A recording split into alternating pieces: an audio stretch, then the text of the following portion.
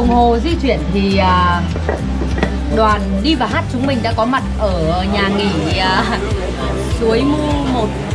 Và rất là nhiều điều à, bất ngờ. Và đây cảm xúc đang chờ một buổi ngày mai.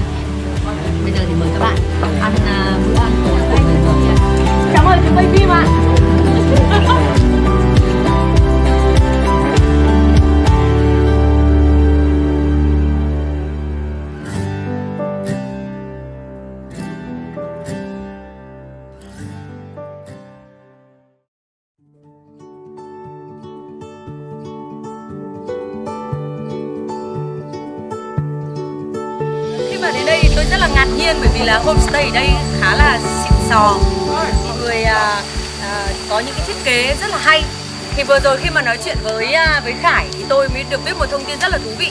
Đấy là à, cái vùng à, dân cư ở đây trước đây đã được à, trung tâm sáng kiến sức khỏe và sinh sản CSIP à, đã giúp đỡ để xây dựng một cái dự án để giúp cho bà con à, nông dân ở đây à, xây dựng cuộc sống mới. Và CSIP là gì? CSIP chính là một đơn vị mà đã đồng hành với ờ, chương trình tình nguyện ờ, nâng cao nhận thức về tự kỷ. Tôi đã hiểu còn bạn nghĩa là đồng, đã đồng hành cùng cùng tôi 4 năm năm nay và bây giờ khi mà đến đây chứng kiến một cái dự án ờ, như thế này giúp đỡ cho người dân thì tôi rất là kiểu bị, bị, bị bất ngờ bị, bị sung sướng giống như là gặp lại một cái người bạn của mình. Rất là tình cờ ở một cái nơi mà lần đầu tiên tôi đặt chân đến. Sáng nay có một cái điều rất là bất ngờ là tôi nghĩ là tôi nghĩ là là tôi sẽ được đến một cái ao hay là một cái đìa gì đấy để mà bắt cá nhưng mà không ngờ là ở đây rất là xịn. Có một cái bể cá trông như là đang ở uh, kiểu thủy cung ấy. Đây là con cá dầm xanh. À! đây là con cá dầm xanh. À, người dân đấy nó ôi nói lên đây nhưng mà hôm nay thì là không may. Là tôi không được ăn cái con này bởi vì là nó đang chưa nó chưa trưởng thành chưa lớn xong.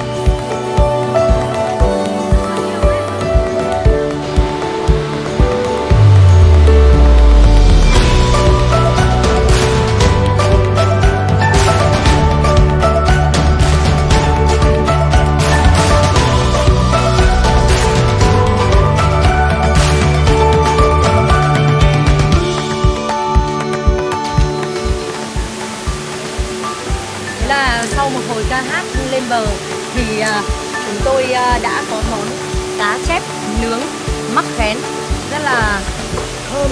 Và bây giờ cái tay cầm này cái thanh tre nó vẫn còn đang nóng rẫy đây này. Tất nhiên là cá chép là một cái món rất là quen thuộc nhưng mà ăn như thế nào và ăn ở đâu với ai thì nó còn quan trọng hơn. Hôm nay là ăn cá chép nướng mắc khén ở suối mu của Hòa Bình cùng với team đi và hát với Thái Thùy Linh. Xin mời quý vị.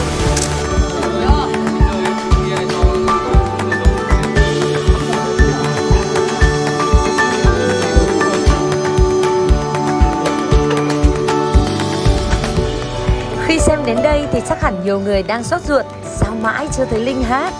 Hmm, Ở video sẽ phát sóng tối thứ bảy tuần sau. Linh sẽ tiếp tục khoe với các bạn rất nhiều thứ hay ho, độc đáo, bất ngờ, đầy cảm xúc. Nếu thấy hay, hãy chia sẻ. Nếu mến Linh, hãy nhấn nút theo dõi kênh youtube duy nhất này của Thái Thùy Linh. Hãy cùng đón xem Zuka đi và hát.